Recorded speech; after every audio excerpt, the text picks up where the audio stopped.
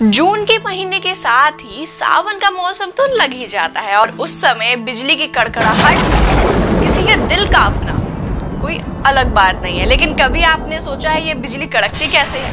हम में से अब तो कई लोग जानते हैं कि क्या होता है, क्या साइंटिफिक रीजन है। लेकिन कई साल पहले जब विज्ञान नहीं था तो एक ऐसा व्यक्ति जिसने इन सभी चीज़ों को सभी के समक्ष उजागर किया, वह था बेंजामिन फ्रैंकलिन कौन थे बेंजामिन फ्रैंकलिन आइए जानते हैं। नमस्कार, मैं कृतिका, आप सभी का स्वागत करती हूँ प्रभात प्रकाशन के यूट्यूब चैनल पर। चलिए शुरुआत करते हैं आज की इस वीडियो की।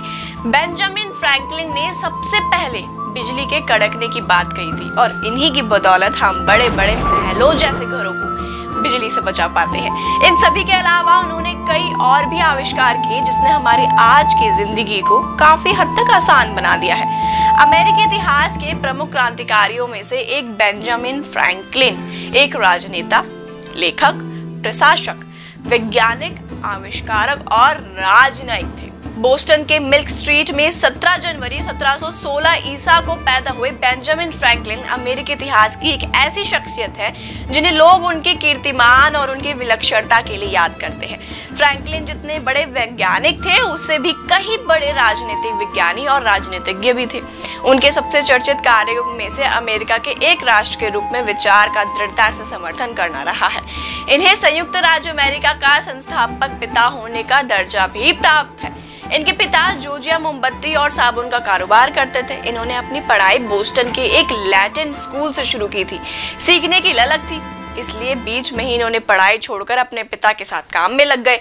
पिता की फैक्ट्री में काम करने से उनका कल्पना की उड़ानों में कोई कमी नहीं आई और वह कम उम्र में ही बड़ा सोचने लगे। इसके साथ ही उन्होंने अपने को उस काम में झोंक दिया।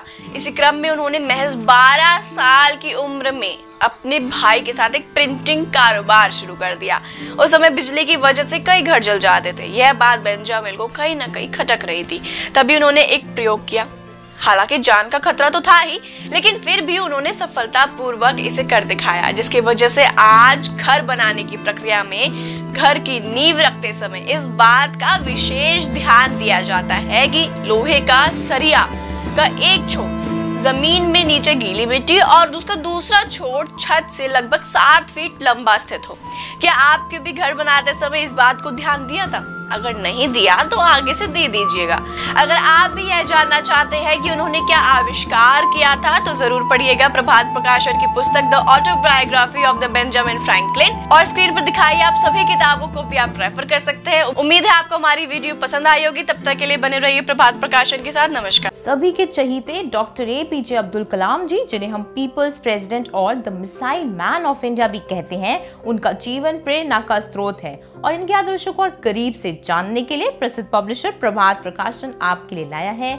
इनकी लिखी हुई लोकप्रिय किताबें, जैसे भारत भाग्य विधाता, अग्नि की उड़ान, वैज्ञानिक भारत गाइडिंग सोल्स हम होंगे कामयाब आदि। तो आज ही ऑर्डर करें अमेजोन फ्लिपकार्ट या नजदीकी बुक स्टोर से, क्योंकि इनके बिना आपका बुक शेल्फ अधूरा है।